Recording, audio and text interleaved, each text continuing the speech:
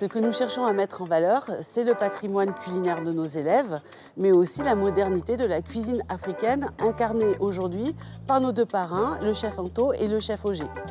Ce qu'on commence à percevoir, c'est que la cuisine africaine bouscule énormément de stéréotypes.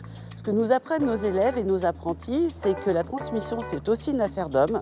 À l'occasion de la migration, ils amènent leurs recettes et ils les transmettent. C'est aussi une affaire de femmes dans la mesure où elles arrivent à sortir de la tradition pour aujourd'hui proposer une cuisine très moderne et s'imposer sur la scène euh, gastronomique euh, internationale.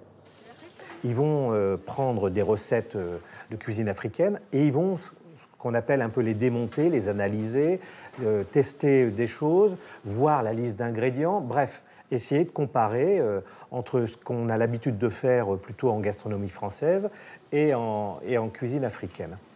C'est une étape euh, importante puisque c'est l'étape finale et qui permet de choisir un certain nombre de recettes, d'essayer de les gastronomiser, si je peux employer ce néologisme, avec un dîner de gala qui sera prévu, ainsi qu'un livre de recettes euh, publié exclusivement pour cela.